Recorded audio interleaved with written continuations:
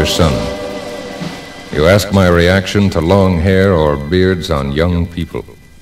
Some great men have worn long hair and beards George Washington and Abraham Lincoln.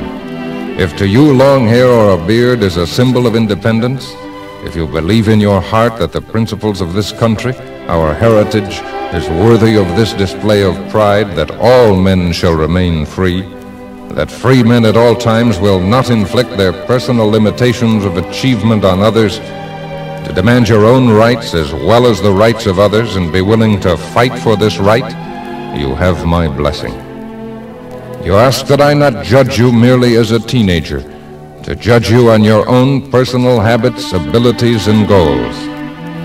This is a fair request, and I promise I will not judge any person only as a teenager if you will constantly remind yourself that some of my generation judges people by their race, their belief, or the color of their skin, and that this is no more right than saying all teenagers are drunken dope addicts or glue sniffers.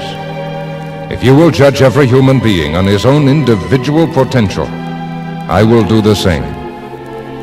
You ask me if God is dead. This is a question each individual must answer within himself. Could a warm summer day with all its brightness, all its sound, all its exhilarating breathiness just happen? God is love. Remember that God is a guide and not a stormtrooper.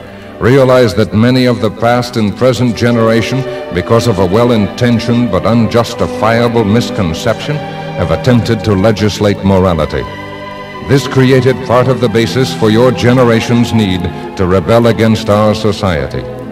With this knowledge, perhaps your children will never ask, Is God dead? I sometimes think much of mankind is attempting to work him to death. You ask my opinion of draft card burners. I would answer this way. All past wars have been dirty, unfair, immoral, bloody, and second-guessed.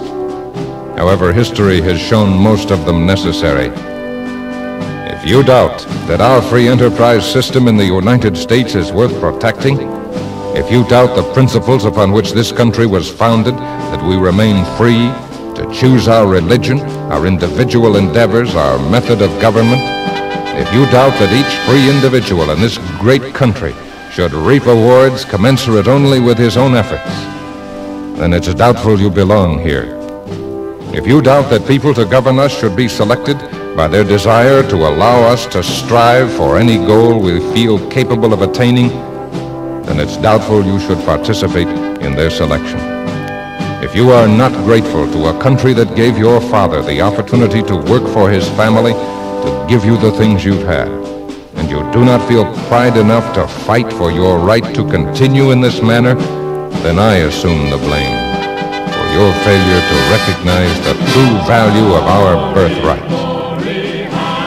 Would remind you that your mother will love you no matter what you do, because she is a woman. And I love you too, son. But I also love our country and the principles for which we stand. And if you decide to burn your draft card, then burn your birth certificate at the same time. From that moment on, I have no son.